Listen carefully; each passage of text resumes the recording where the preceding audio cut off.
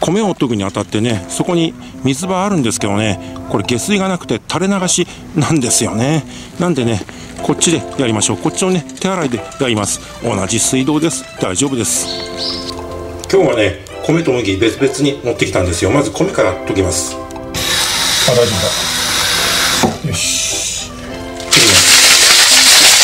これとあとね水を2回入れ替えて研ぎます。だから合計私の場合3回研ぐそれが好きなんですよ。麦を。投入米がね0.75麦が0.75足して1.55です。私の場合ねほんとこうやって徹底してやるのが好きなんですよ。またここか。こんなもんよいしょ。水の量はまあ目分量でこんな感じです、まあ、これはね慣れですね。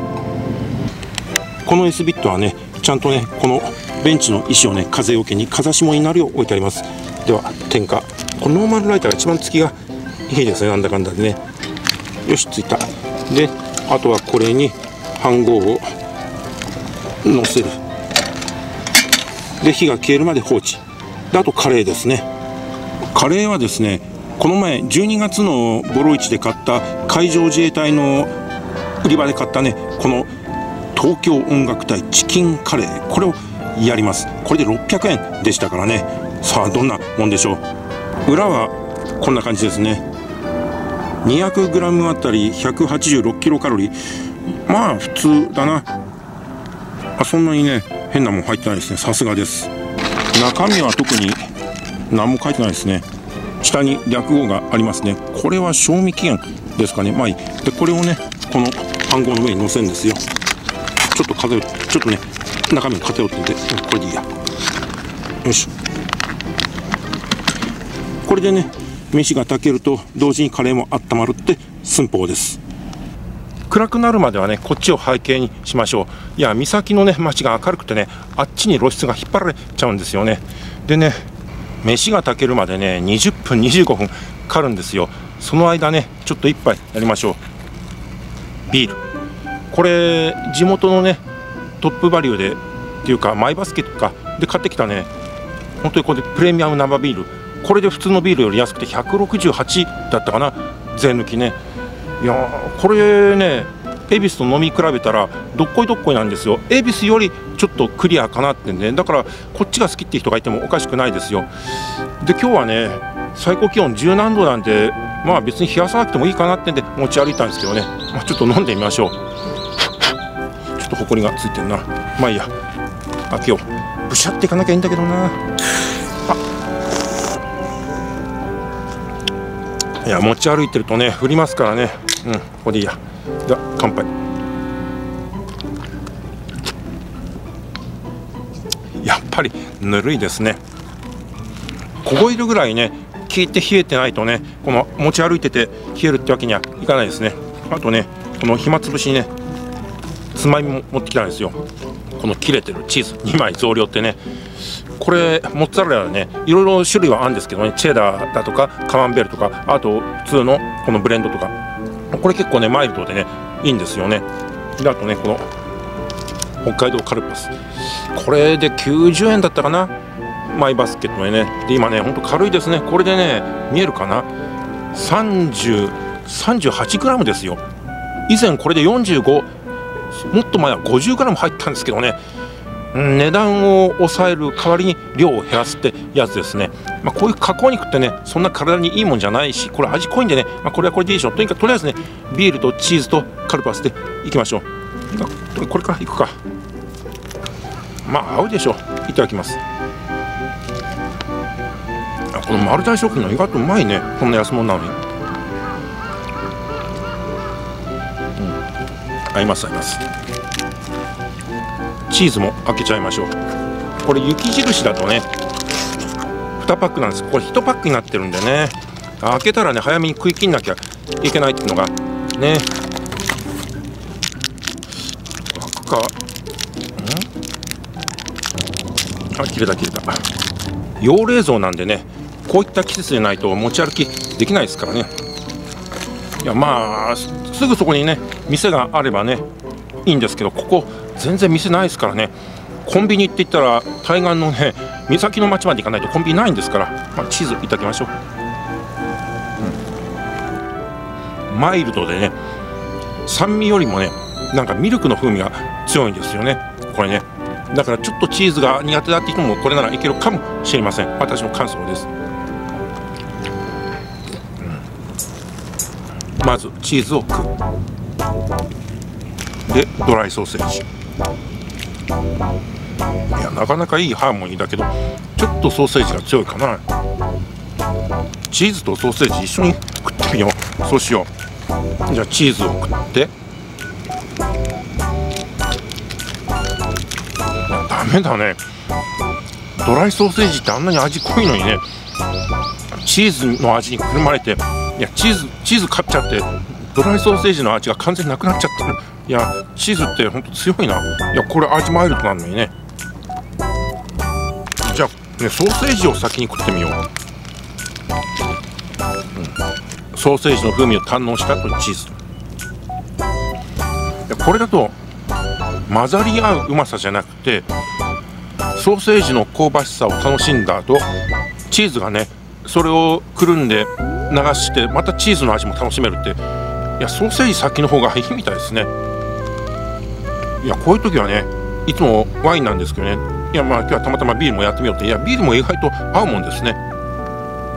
いやこれほんとうまい。ドライソーセージの後ねチーズ抜きでビールだとどうかな。まあ悪くはないけどね。やっぱり一回このチーズを入れた方が口の中さっぱりしますね。このエナメルの服ね。見た目はねあったかいっていうか暑苦しそうに見えるんですけどね。着てみると全然全然なんですよ。断熱効果ないんですよ。樹脂ですからね。裏地のない。だから本当にねこの温度がそのままね伝わってきちゃうんですよ。寒さなら寒さ暑さなら暑さね、まあ、これでも下にね長袖の下着着てるんでねそれでもだから下着にこの下の黒のやつとこれでね 3, 3枚しか着てないですからね。ちょっとねなのでこれこのね赤のねこの防寒着持ってきてるんですよ。これ自作でしてね裏がねこうやってねキルティングなんでこれ相当あったかいんですよ。山で使うのにちょうどいいんですよね。ただこれちょっとねキルティングでねこのモコモコしてんでちょっとかさばるのかな。それちょっとあんまり山に持ってってないんですけどね、まあ、こういう時ならちょうどいいですよ。いや本当エナメルの服ってね傷みが早いんでね持って56年ですからね。だから気に入ったもんがあったらガシガシ着ないとね本当に久しぶりに着るかって、ね、何年かぶりに着るかって言ったらねもう加水分解でねボロボロのベタベタだったりしますからね。だからもう買ってねすぐ楽しむっていうそんな感じですね。いやこれも本当に自作でね結構気合い入れて作ったんですけれどいや気合い入れて作るならねエナメルじゃなくてねまだポリエステルの方がいいですね。そうやって本当に何年も持たないからそういうものにね労力入れるのもどうかって思っちゃうんですよね。ただ当時はねアリエクスプレスでね買えるとは知らなかったですからね。だから自分で作るしかないってわけでね。今アリエクスプレスでね合皮の革ジャンだったらものによっちゃ5000円くらいで買えるのかな。ビール終わっちゃいました。でもねまだもう一つあります。さっきまで魔族かサキュバスかみたいな感じだったのがねなんか SF のなんか宇宙戦艦のオペレーターみたいななんかそんな感じになっちゃいますね。でもう一つってのはこれ。これですよ。サントリーのねストロングの赤。やや辛口って。いやこれね全然私は甘口だと思うんですよね。まあ私がねそれなりにワイン飲んでるからそう感じるのかもしれませんけどね。でもやっぱりこれほとんどグレープジュースみたいな感じなんですよね。まずこれでやりましょう。乾杯。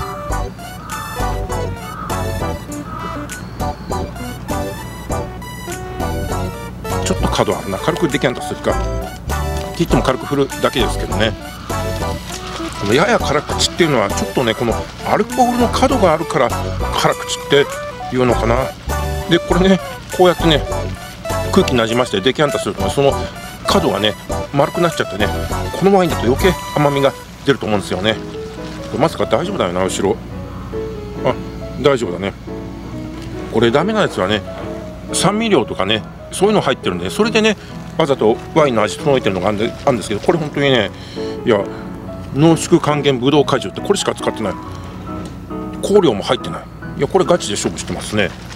いやこれでいこう。ほんと最近のね安ワインあれはビストロとその OEM のトップ割りワインが香料入ってますからね。まあ安いから許せますけど。でもこれはこれで500円ぐらいするんでね。まあそれなりにしてもらわないと困ります。また改めて乾杯。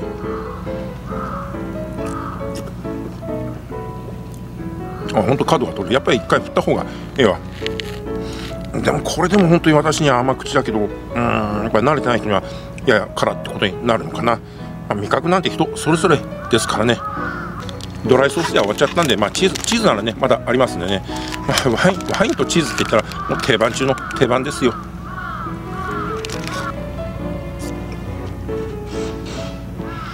や合わないわけがありませんね。でカレーライスの方ねなできたのかな？ちょっとちょっと火力を見てみましょう。要するにね自動炊飯ってやつなんですよ。固形燃料が燃え尽きりゃ出来上がりってわけでね。さあどうだ？あじゃあもうこれいってみましょう。どんな具合でしょうね。おいい感じだ。あっちあっちあっちあっち。いやいや素手で掴んじゃいけねじゃあこれにねほんとこのカレーもいい具合に温まってんでカレーぶっかけてカレーライスです。